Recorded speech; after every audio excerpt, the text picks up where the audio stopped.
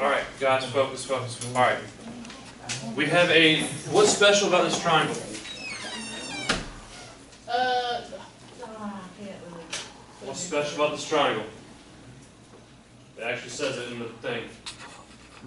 It's a right triangle. So what theorem can we use to figure out what this side length is? The what? The Pythagorean theorem. Alright, so me get new markers. Pythagorean theorem. Alright, and so what that says is it says a squared plus b squared equals c squared.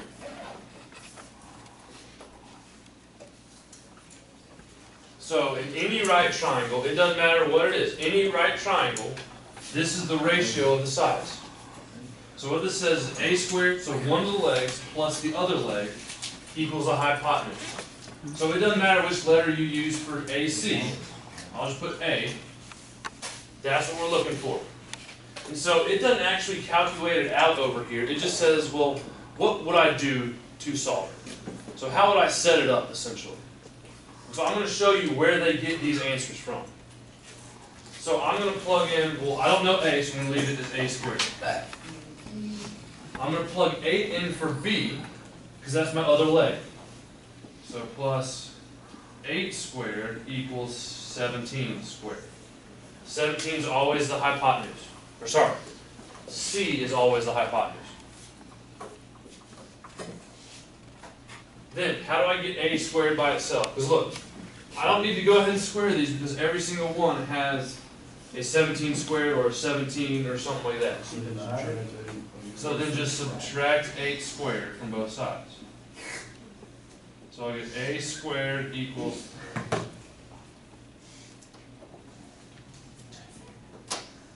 uh, 17 squared minus 8 squared. Is that our final answer? Why not?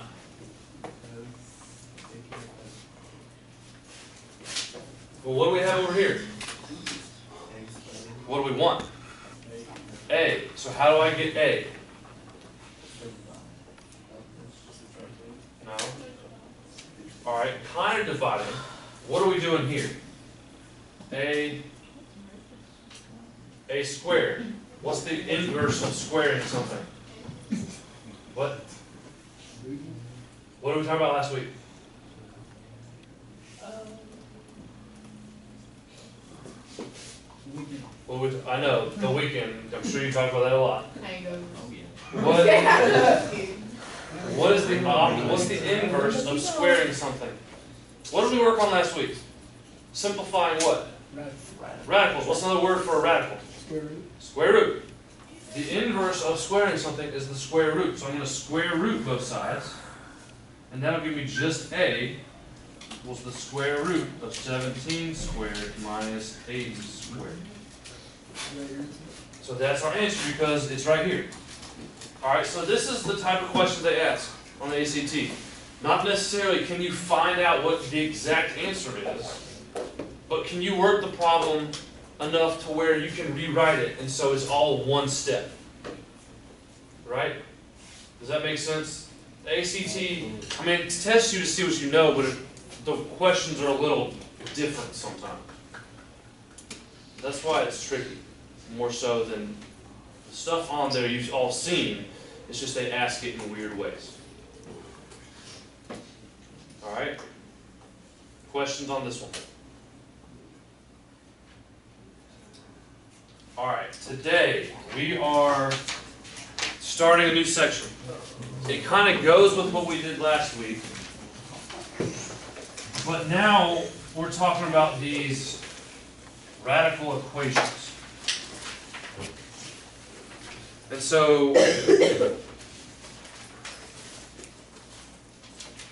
for these radical equations, I mean, it's exa- that radical equation with the definition right next to it.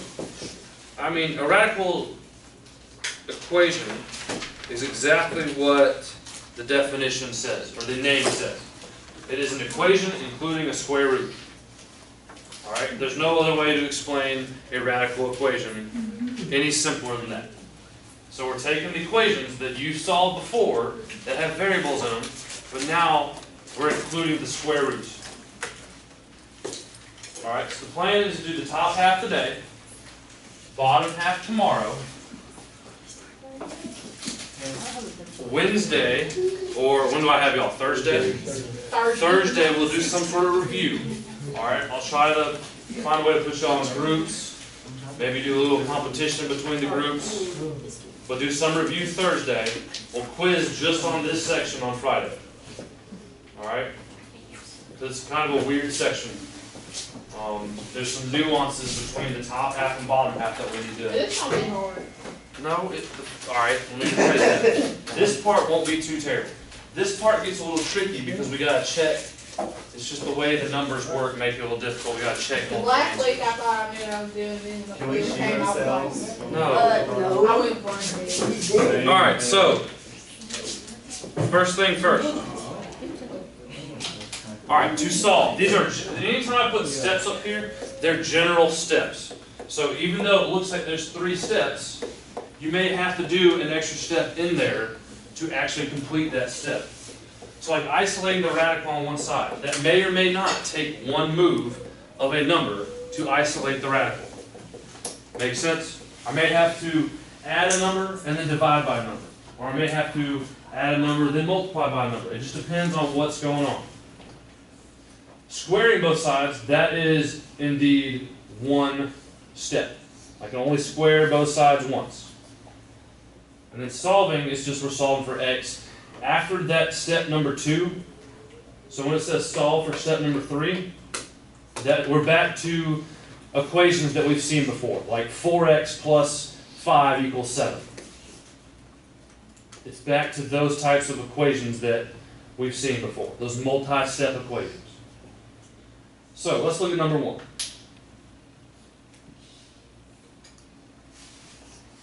All right, step one, isolate the radical. So when I say isolate the radical, I want to get this entire piece by itself. So what am I doing?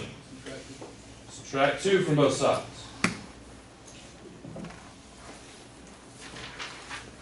So from there, I'll get 3x plus 2, all inside my, my square root still, equals 4.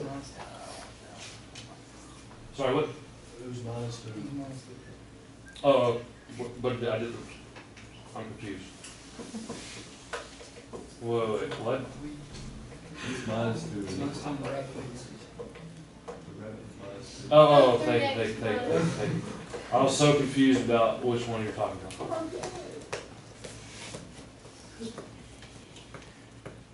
Now, here's something that we need to remember. This radical keeps us from keeps us from moving anything on the inside of it out. Alright, so at this point, don't write this down, I could not add 2 to both sides and just have the square root of 3x. That's not what we that's not what we're doing.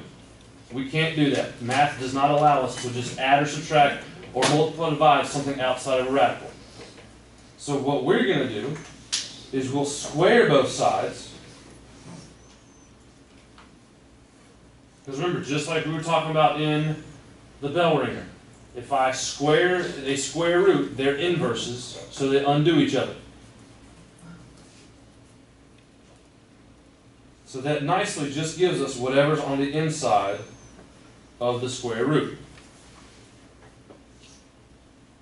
So 3x minus 2 is going to give us, or equal, what is 4 squared? 2. No, other way, other way. Mm, Alright, you, you're, you're square root of it. 16. Remember, the little 2 up here means I'm taking that number, multiplying it by itself. The radical bar means I'm taking the square root. That means I'm making it small. Alright? How- Now, we're back to our multi-step equation that we've been doing since the beginning of the year, hopefully. So, what do I do now? Add two on each side, you divide by three. Good. Add 2 to both sides.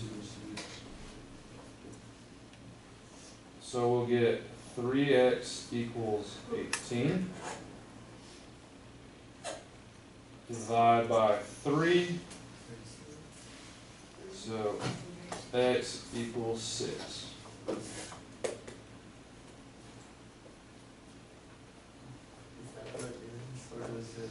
No, that's it. That's it. Today, that's it. So, as you'll come to see tomorrow, we like when the variable's on the inside of the square root. It makes our problem a lot easier. Tomorrow, we'll talk about what happens if there's a variable outside the square root. But today, it's just this. I don't like that guy.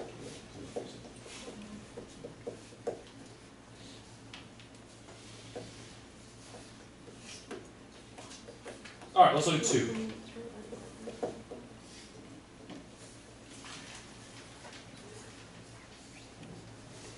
What am I doing first? Isolated, Isolating. How do I get that by itself? uh, subtract one. Alright, whoa, whoa, whoa, hold on, hold on. Remember. What? Yeah, thing. Alright, so remember, I want this whole thing by itself. So anything underneath the square root, inside the square root, I can't move out. So what's the only number outside of that square root? The six, so I'm gonna add six to both sides. Yep, so then I get five x plus one equals six. Pay attention.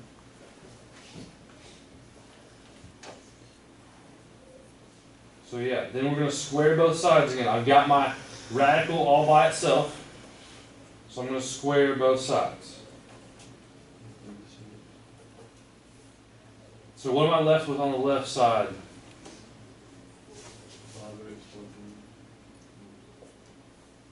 Five x plus one equals thirty-six.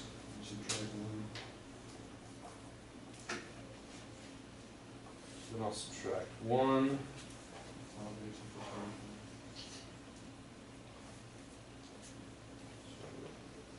Five x equals thirty-five.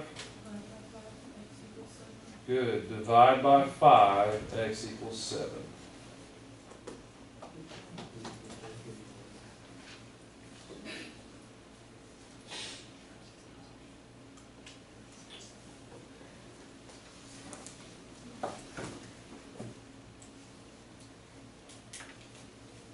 We good so far?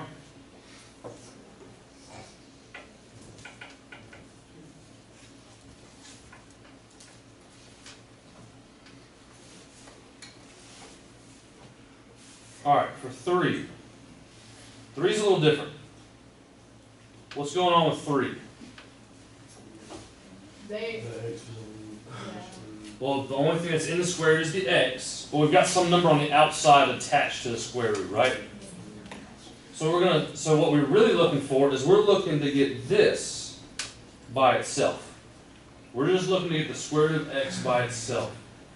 So to do that, I'm gonna start the same way I did last time by doing what? subtract one. Good, subtract two.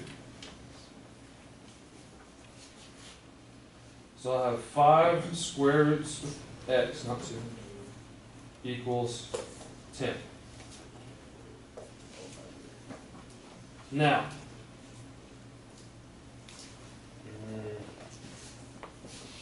Bailey, read that left side for me, that five root x, how well would I read that mathematically? Five square root x plus two. No, no, no, no, no. This right here, this right here. How would I read that including the operation in between the five and the square root of x? Do you know what, what I'm, t- what I'm asking? A little confused. Alright, so I have five, like you said it right the first time, you said five square roots of x. Yeah. Well, there's technically an operation, addition, subtraction, multiplication, in between the five and the square root of x. What is that operation? multiplication. So that is really 5 times the square root of x, correct? So how do I get rid of that 5 and move it to the other side? Divide. Divide. We do the opposite. So even though there's no multiplication symbol there, that's that's still what we got to do. Whoops, delete the zero. So I'm dividing by five first. I'm not squaring that side yet. I'm dividing by five first. Good, David. By the way.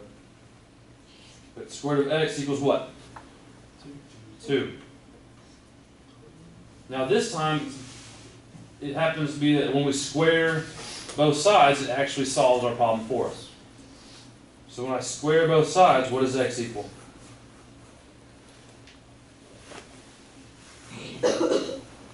When I square both sides, what is x going to equal?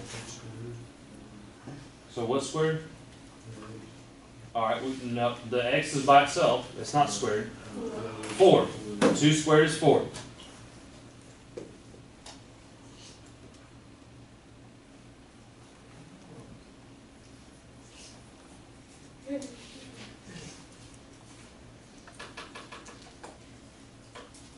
Alright, y'all try four. Then we'll go over it together. Y'all try four.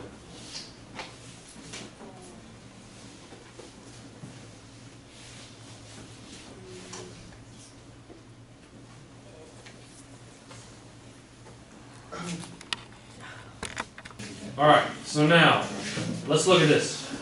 What's the first thing we're gonna do? Minus two. Plus two. Add two. Plus two, sorry. Add two.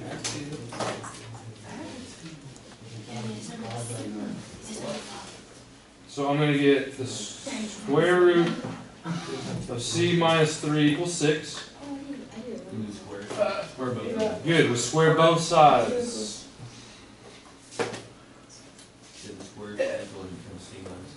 Good, we're- all right, so yeah, good. Whenever we take, whenever we take a square root and square it, the only thing that's left is what's underneath it.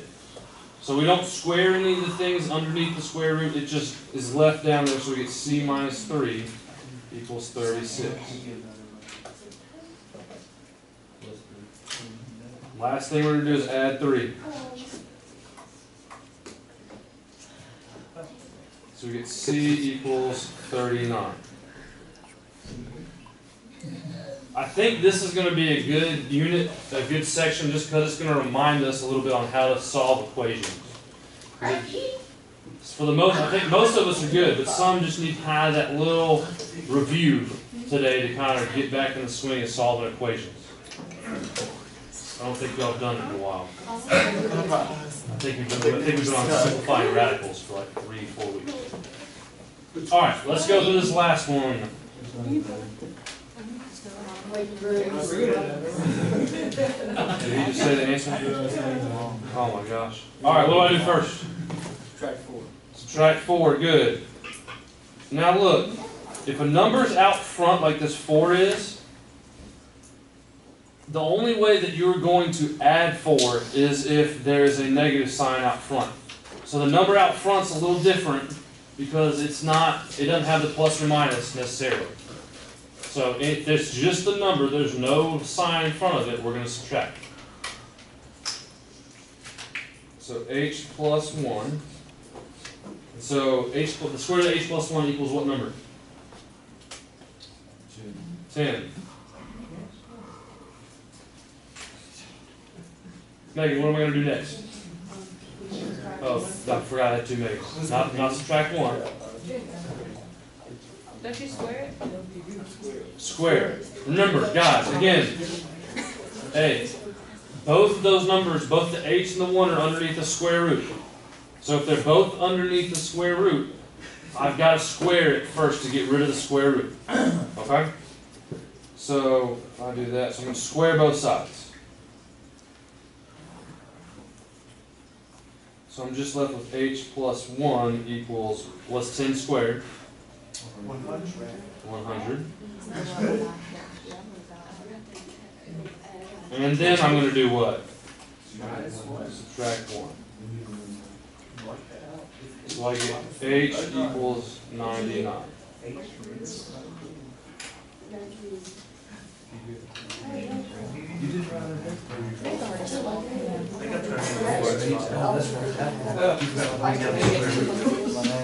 get h equals 99. All right, hey guys, look, look, listen for a second.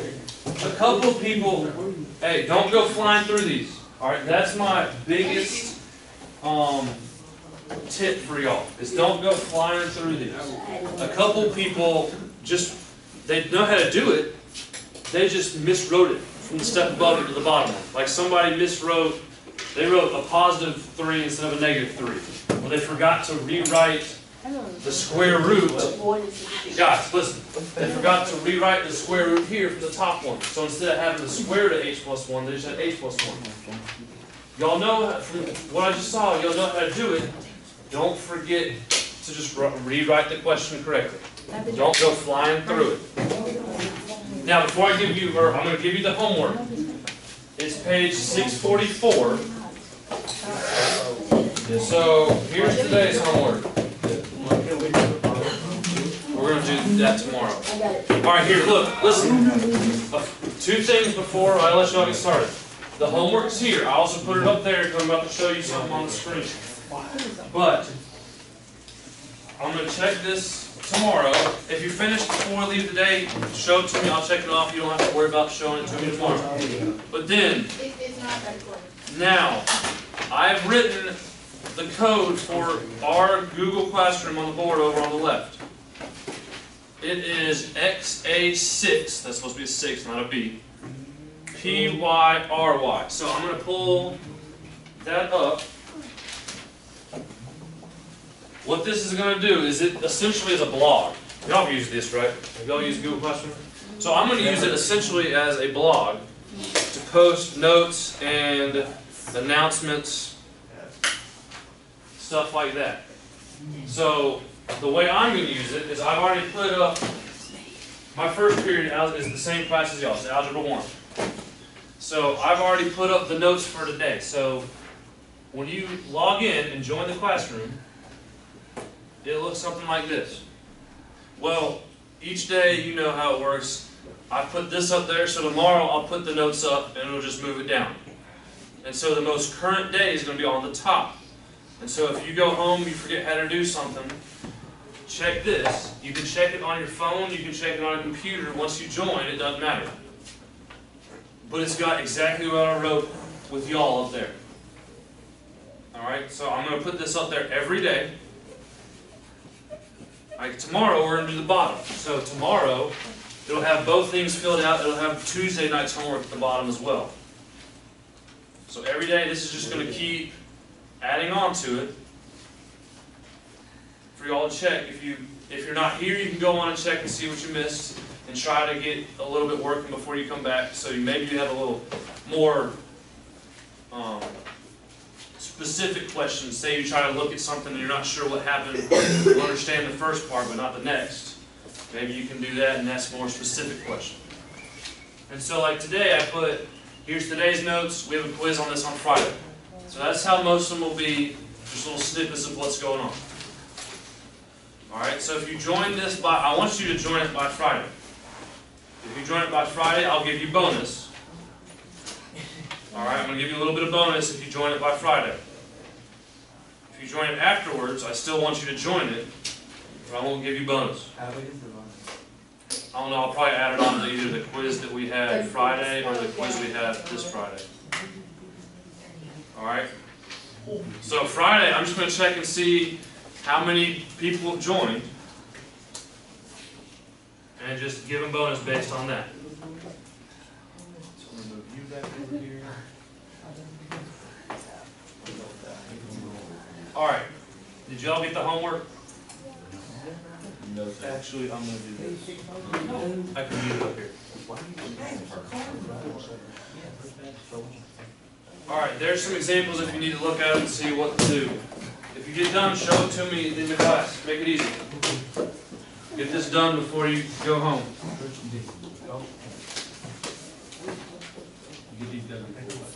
Before you go home. Yeah. I know that kind of defeats the purpose, right? But it really doesn't. If I don't get it done, like, do it, Yes. Same thing. cause I won't do it. That's reason sided radical, right? So what? Square. You almost didn't catch it. Come on.